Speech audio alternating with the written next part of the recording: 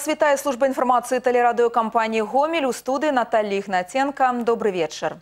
Энергаэфектыўнае будаўніцтва, цеплавая мадэрнізацыя і прымяненне экалагічна чыстых матэрыялаў. Сёння ў Гомелі прайшла міжнародная канферэнцыя, удзельнікі, якую шукаюць адказ на пытанне, як зрабіць пражыванне ў індывідуальных дамах больш камфортным. З выказанымі думкамі азнаёміўся Алег Сенціроў.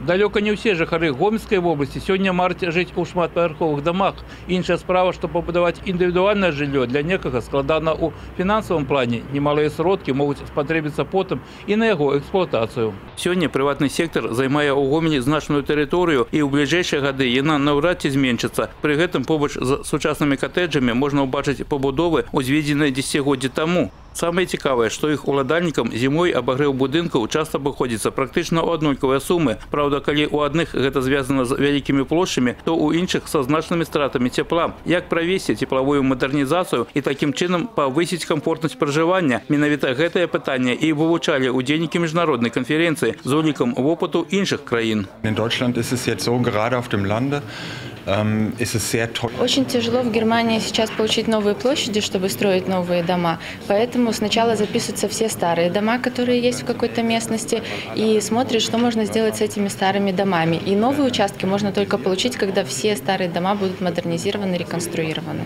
Па вялікім рахунку праблем з наяўнасцю матэрыялаў для цеплавой мадэрнізацыі жылых дамоў сёння ў Беларусі няма. Спецыялісты кажуць, што да кожнай пабудовы неабходна падыходзіць індывідуальна, але ў цэлым займацца гэтай справай неабходна. Урэшце эканомія электра і цеплаэнергіі гэта не толькі дзяржаўная задача, але і прамы шлях да павышэння дабрабыту канкрэтных людзей. Стеновое утепление – это кровельное, это межчердачное, это э, надподвальное перекрытие.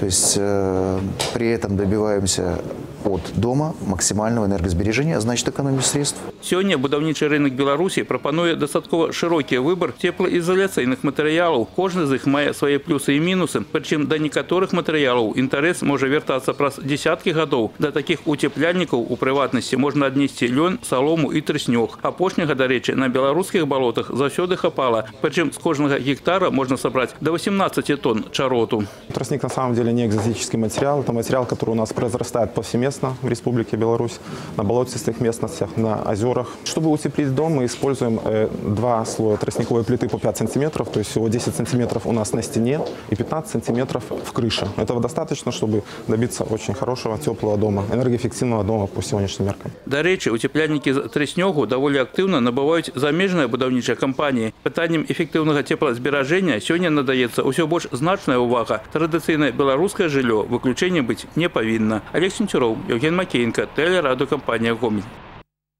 У працяг тэмы. Напярэдадні наступлення халадоў прадстаўнікі жыллёва-камунальнай гаспадаркі агучылі дадзеныя па цеплавым работам, праведзеным у гэтым годзе. Размова адбылася падчас радыёпраграмы «Задай пытанне ўладзе» на хвалях «Гомель плюс».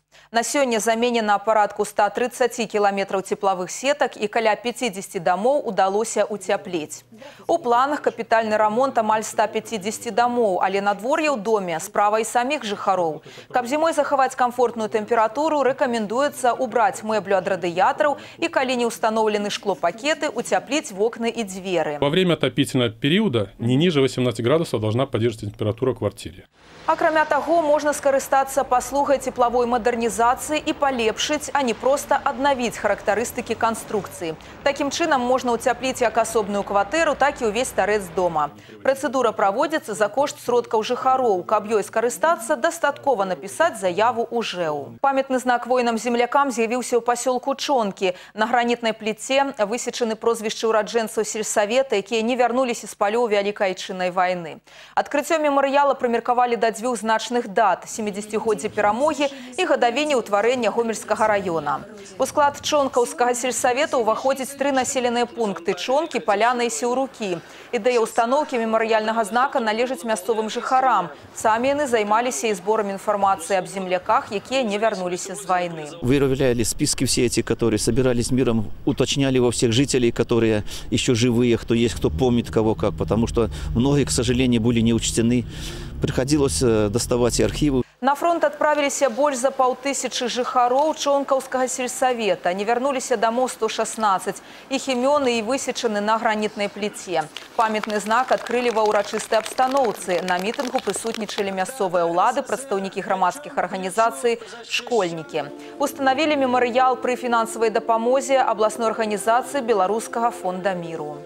Сёння прайшоў навучальны семінар для прафсаюзнага актыва работнікаў сувязі гомельскай вобласці. Асноўнымі тэмамі сталі вынікі адыходзячага года і перспектывы развіцця на наступны. Амаль 140 чалавек з розных куткоў гомельшчыны прысутнічалі ў зале белтэлекама.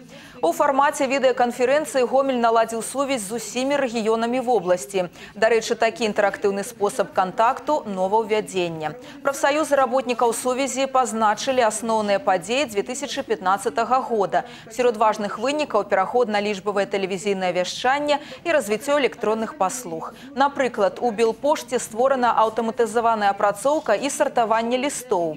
Надзённыя ж тэмы прафактыва, выкананне сацыяльна-эканамічных паказчыкаў у наступным годзе. Вопросы, связанные с организацией комплекса мероприятий, которые приняты были на съезде. Это совершенствование структуры, это вопросы э, расширения проф, э, так сказать, организаций, вовлечения в эту работу тех организаций, где нет профорганизаций. То есть немало. У Гомелі працягваецца 13 міжнародны дзіцячы конкурс музыка надзеі. Ён будзе праходзіць на працягу чатырох дзён у сценах гомельскага дзяржаўнага каледжа мастацтваў імя сакалоўскага. За ходам праслухоўвання ў першага конкурснага дня назірала наш корэспандэнт Вераніка Варашыліна. Падчас конкурсных праслухоўванняў у сценах гомельскага дзяржаўнага каледжа мастацтваў імя сакалоўскага шматлюдна і хвалююча. Пакуль адны юныя музыкі дэманструюць свае творчыя ўменні ў канцэртнай зале, іншыя пад яе дзвярыма адпрацоўваюць апошні апошнія дэталі свайго выступлення. Дзесяцігадовая удзельніца конкурсу Ліра Кандраціва прыехала ў гомель з Барысава. За плячыма гэтай маленькай і далікатнай, аднак вельмі працавітай і мэтанакіраванай дзяўчынкі перамогі ў падобных творчых конкурсах, а галоўная неперадольная цяга да музыкі і высокага мастацтва. Я занимаюсь музыкой два года. Саксофон, на нем мне очень для меня легко на нем играть. Он мне нравится, он красивый звук на нем. Я думаю, что я буду все дальше и дальше быть музыкантом. Сёлетні міжнародны дзіцячы конкурс музыка надзеі аб'яднаў у адзіным творчым парыве каля 120 юных музыкаў з пяці краін свету. Гэта таленавітыя і амбіцыёзныя канкурсанты з Беларусі, Расіі, Украіны, Малдовы і Эстоніі. У цэлым гэты прэстыжны і досыць вядомы музычны конкурс праводзіцца ўжо ў 13 раз і за гэты час у ім прынялі ўдзел больш за тысячу юных талентов с восьми краин. В этом году, впрочем, как и во все предыдущие, дети очень талантливые, музыкальные, одаренные. И каждый из них заслуживает, конечно, признания. Может, для кого-то этот конкурс будет новой ступенькой в их творческой кар'ере. Калі для канкурсантаў гэты музычны марафон творчая пляцоўка, якая дае шанс для рэалізацыі сваіх талентаў, то для членаў журы, у ліку якіх заслужаныя артысты і дзеячы мастацтваў гэта магчымасць адабраць найбольш яркіх і таленавітых юных выканаўцаў, якія ў будучым будуць праслаўляць сваю краіну. За званне лепшых удзельнікі сёлетняга творчага спаборніцтва змагаюцца ў дзвюх узроставых групах. Яны дэманструюць сваё майстэрства ў валоданні духавымі і ударнымі інструментамі. Па выніках конкурсу яго пераможцы атрымаюць дыпломы і грашовыя прэміі. Яны таксама выступяць у заключным канцэрце ў сценах гомельскага дзяржаўнага каледжа мастацтва імя Сакалоўскага падчас урачыстага закрыцця музыкі надзеі. Вераніка Варашыліна, Ігор Марышчанка, тэлерадыёкампанія Гомель. На Гомельшчыне поўным ходам ідзе падрыхтоўка да новага года. Якія прыемныя сюрпрызы для жыхароў вобласці рыхтуюць супрацоўнікі сферы гандлю і паслуг. Пацікавілася наш карэспандэнт Ганна Кавалёва. Калі надвор'е зусім не выклікае навагодняга настрою, то вітрыны ўпрыгожаныя гандлёвыя залы не дадуць сумнявацца ў тым, што свята ўжо блізка. Ва ўсіх буйных крамах абласнога цэнтра ўжо разгорнуты перадсвяточны гандаль ёлкамі, навагоднімі цацкамі і сувенірамі. На некаторыя тавары абяцаюць зніжэнне гандлёвых надбавак і адпускных цен цен. Минус 20% на новогодние елки. Выгода покупателя, например, вот на елке 150 сантиметров составляет 120 тысяч.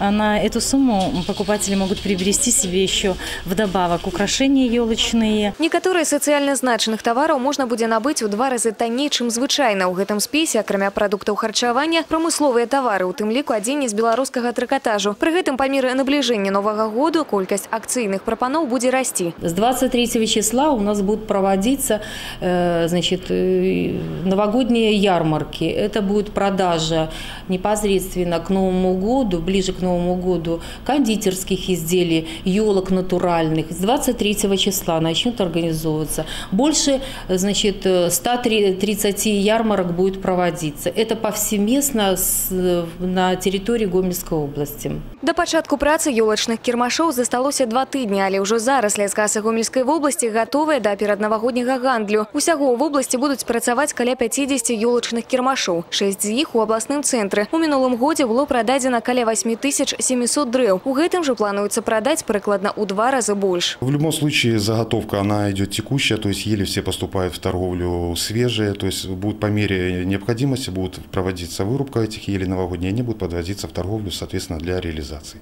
Но эти ели, они есть у нас в наличии, и они готовы для продажи. Акрамя таго, елку можна набыць, вярнуўшыся ў любое лясніцтва вобласці. Дарэчы, на Гомельшчыне іх налічваецца 177. Уже сёння вядомыя кошты на галоўны атрыбут свята. Метровая новогодняя прыгажуня абыдзецца мінімум у 75 тысяч, двухметровая каля 130. Грунтоўна гомельскія лясгасы падрыхтаваліся і да сустрэчы з ёлачнымі браканьерамі. У пераднавагоднія дні сваю рэйдавую дзейнасць узмоцніць аддзел аховы лесу. За незаконную рубку в лесах первой первой группы, это вот, например, все леса Гумельского района, значит, э, штраф от 900 тысяч до 9 миллионов. В лесах второй группы до 30 базовых величин. При совершении ущерба в особо крупном размере – уголовная ответственность. Разом з тым лічбы статыстыкі ўпэўнена паўтараюць ёлачных браканьераў з кожным годам становіцца ўсё менш. Яно і зразумела, сысці з лесу незаўважным нават з адной елкай зараз практычна немагчыма. Лесныя масівы абсталявалі спецыяльнымі фотапасткамі, якія рэагуюць на рух нават у цёмны час сутак. А праз пару імгненняў фотаздымкі ўжо на стале ў супрацоўнікаў міліцыі. Як выснова купіць навагоднюю прыгажуню законна абыдзецца прыкладна ў 100 разоў танней. Ганна Кавалёва, Ігор Марышченко, тэлерадыёкампанія Гомель. І ў працяг тэмы. Пакуль абласны цэнтр актыўна рыхтуецца да сустрэчы новага 2016 года, нашы карэспандэнты вырашылі пацікавіцца ў яго жыхароў і гасцей, якія падарункі яны жадаюць атрымаць у гэтае свята. Главное, чтобы от души, все равно что. Путевку в Сочи. Побыть в санатории в Сочи. Шкатулку, куда можно положить с э, браслет, там, ожерелье. Звонки от друзей – это первое. Ну, от детей что-то. Ну как что-то, внимание, не больше. Я бы хотел получить или ноутбук новый, или самые классные наушники. Сладости, наверное. А почему? Ну, потому что это приятно. Такого материального подарка я бы не хотела. Я бы хотела, чтобы вся моя семья, я, дети и внуки были здоровы. Вот это будет самый большой подарок. На Новый год я бы хотела получить новый телефон. Я бы хотела получить на Новый год дружбу новую, чтобы было много друзей и чтобы каждый жил в мире. Хотела бы отдохнуть где-нибудь на море. У меня просто есть две книжки одного автора, Джона Грина, американского. Я бы хотела собрать всю коллекцию, у меня осталось три книжки. Самый хороший подарок э, – это чтобы хорошо жилось, в новом году, чтобы не было войны, близкие, родные, дети, все были здоровы, живы-здоровы. І гэта была апошняя інфармацыя выпуску. Студы працавала Наталья Ігнаценка. Усяго добрага, да новых сустрэч у эфіры.